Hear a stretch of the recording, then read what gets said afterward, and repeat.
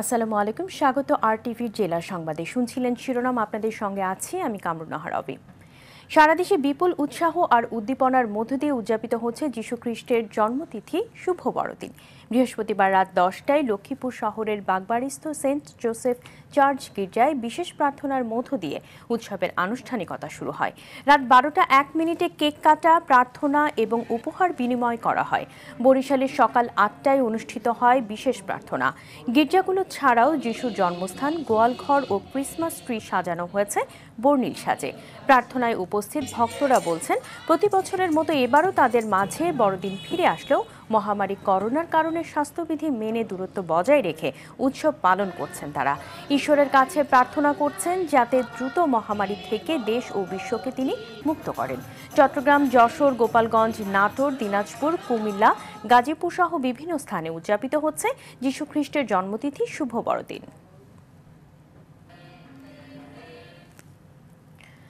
বড়দিন ও সাপ্তাহিক ছুটির দিন হওয়ায় কক্সবাজার সমুদ্র সৈকতে বেড়েছে পর্যটকদের ভিড়। আনন্দ আর হৈহুল্লোড়ে সাগর তীরে মেতেছেন সবাই। বর্তমানে কক্সবাজারে অবস্থান করছেন অন্তত দেড় লাখ পর্যটক। তবে সৈকতে স্বাস্থ্যবিধি মানার নির্দেশনা দেওয়া হলেও তা মানছেন না অনেকেই। পর্যটকদের নিরাপত্তায় এবং সচেতনতায় কাজ করছে ট্যুরিস্ট পুলিশ। হোটেল মোটেলেও কক্ষ খালি নেই বলে জানিয়েছেন ব্যবসায়ীরা। শুধু কক্সবাজার সমুদ্র সৈকত নয় পর্যটকরা ঘুরে বেড়াচ্ছেন পাথরের সৈকত ইনানি হিমছড়ি এবং সেন্ট মার্টিনেও। অসম্ভব একটা সুন্দর পরিবেশ বিরাজ করছে এখানে। প্রচুর পরিমাণে পর্যটক ঘুরতে এসেছে। ভয়টা যে নেই তা না বাট সব কিছুর উপরে ভয়ের বাইরেও একটু ভালো লাগা কাজ করতেছে এখানে আসতে পেরে। সমুদ্রে মাছ আসলে যাচ্ছে না সমুদ্রে গোসল করতে আসছি। এদিকে বড়দিন ও সাপ্তাহিক ছুটির দিনে পর্যটকদের পদচারণায় মুখর সাগরকন্যা খ্যাত কুয়াকাটা সমুদ্র সৈকত। সেখানকার পরিস্থিতি জানাব সহকর্মী জসিম পারভেজের কাছ থেকে। পর্যটন কেন্দ্র কুয়াকাটায় বিগত বছরের মতো শীত মৌসুম হওয়ার শুরু শুরুতেই পর্যটন কেন্দ্র কুয়াকাটায় পর্যটকদের আগমন বৃদ্ধি পেতে থাকে। এবছরও তার ব্যত্যয় ঘটেনি। দেশের বিভিন্ন স্থান থেকে পর্যটকদের আগমন কুয়াকাটায় ঘটেছে রেকর্ড সংখ্যক। পর্যটকদের আগমনের সঙ্গে সঙ্গে গত এক সপ্তাহ ধরে পর্যটন কেন্দ্র কুয়াকাটার সকল হোটেল মোটেলের সিট এক সপ্তাহ আগ থেকেই বুকিং হয়ে আছে বলে আমাকে এখানকার হোটেল মোটেল রিসোর্ট অ্যাসোসিয়েশনের সাধারণ সম্পাদক আব্দুল মোতালেব শরীফ আমাকে নিশ্চিত করেছেন। এছাড়াও পর্যটন কেন্দ্র কুয়াকাটার রাখাইন মার্কেট, ঝিনুক মার্কেট এবং সুটকি মার্কেট সহ সকল মার্কেটে পর্যটকদের উপস্থিতি রেকর্ড সংখ্যক এবং বেচা বিক্রিও বৃদ্ধি পেয়েছে, বিগত দিনের চেয়ে দ্বিগুণ। এমনটি নিশ্চিত করেছেন এখানকার ব্যবসায়ীরা।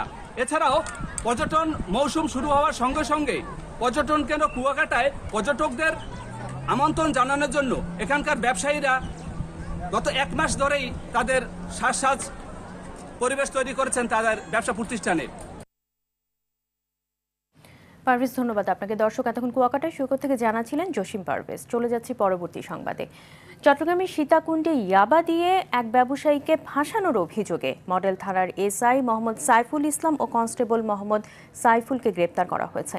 সকালে জেলা পুলিশ লাইন থেকে তাদের গ্রেপ্তার করে ডিবি পুলিশ। এর আগে গেল রোববার সীতাকুণ্ড থানার এসআই সাইফুল ইসলাম ও কনস্টেবল মোহাম্মদ সাইফুল ইয়াবা আছে বলে ওই ব্যবসায়ীর দেহ তল্লাশি করে। এ সময় কোনো ইয়াবা না পেয়ে দুই পুলিশ সদস্য তাকে ফাঁসানোর চেষ্টা করেন এবং টাকা, পয়সা ও মূল্যবান জিনিসপত্র নিয়ে যান।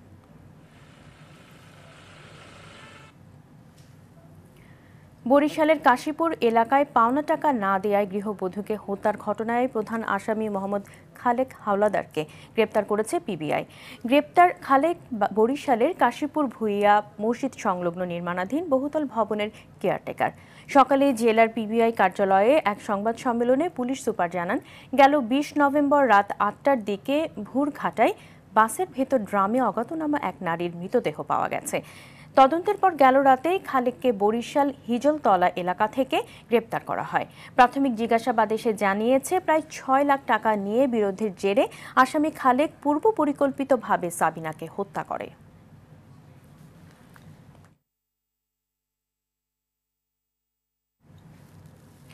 দেশের সর্ব উত্তরের জেলা পঞ্চগড়ে দিন দিন কমছে তাপমাত্রা। পাল্লা দিয়ে বাড়ছে শীতের প্রকোপ সকাল নটায় পঞ্চগড়ের তেঁতুলিয়ায় সর্বনিম্ন তাপমাত্রা রেকর্ড করা হয়েছে আট দশমিক চার ডিগ্রি সেলসিয়াস, যা সারা দেশের মধ্যে সর্বনিম্ন কুড়িগ্রামে সকাল ছয়টায় জেলার সর্বনিম্ন তাপমাত্রা রেকর্ড করা হয়েছে দশ দশমিক শূন্য ডিগ্রি সেলসিয়াস। শীতের তীব্রতা বাড়ায় চরম দুর্ভোগ পোহাচ্ছেন ছিন্নমূল ও খেটে খাওয়া মানুষ। খড়কুটো জ্বালিয়ে শীত নিবারণের চেষ্টা করছেন তারা।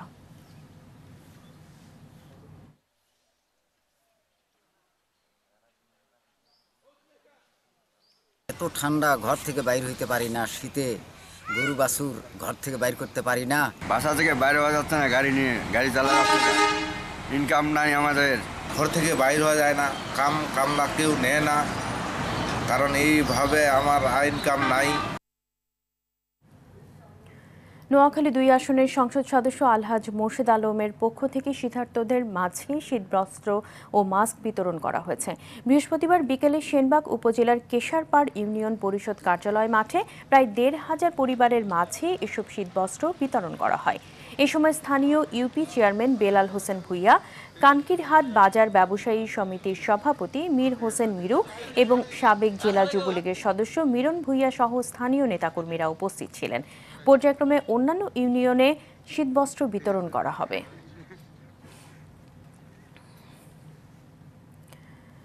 যোগ্য ব্যক্তিদের রাজনীতিতে এগিয়ে আসার আহ্বান জানিয়েছেন জাতীয় পার্টির চেয়ারম্যান আনোয়ার হোসেন মঞ্জু। বৃহস্পতিবার কাউখালী উপজেলা পরিষদ মিলনায়তনে উপজেলা স্বাস্থ্য কমিটির সভায় এমন মন্তব্য করেন তিনি।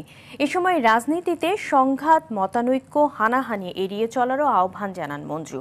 অনুষ্ঠানে পিরোজপুর জেলা পরিষদের চেয়ারম্যান মহিউদ্দিন মহারাজ ছাড়াও অন্যান্যরা উপস্থিত ছিলেন।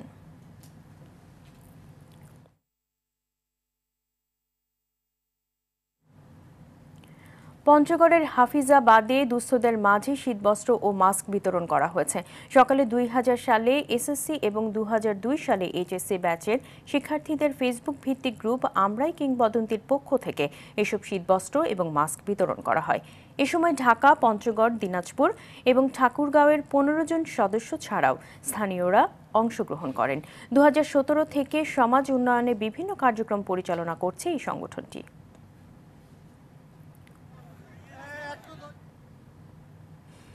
টেকনাফে তৃতীয় লিঙ্গের মানুষদের জীবনমান উন্নয়নে দর্জি কাজের প্রশিক্ষণ দেওয়া হয়েছে।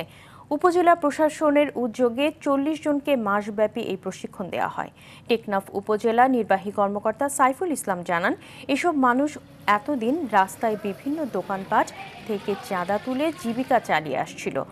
এই প্রশিক্ষণের মাধ্যমে তাদের কর্মসংস্থানের সুযোগ হবে।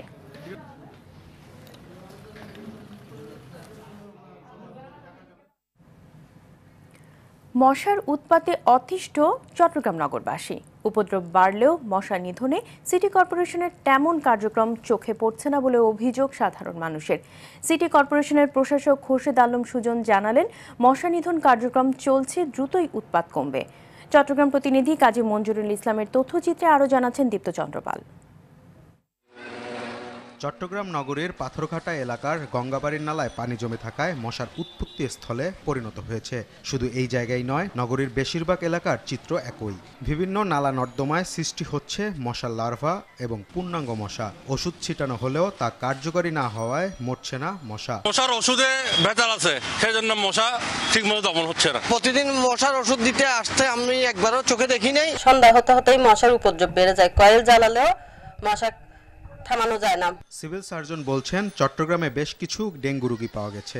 মশাবাহিত বিভিন্ন রোগ থেকে বাঁচতে বাড়ির আশেপাশে পরিষ্কার রাখা সহ সচেতন থাকার পরামর্শ দিচ্ছেন তিনি। আমরা সিটি কর্পোরেশনকে অনুরোধ করেছি যাতে তারা মশার ওষুধ ছিটাতে পারেন বা ছিটানোর ব্যবস্থা নেন।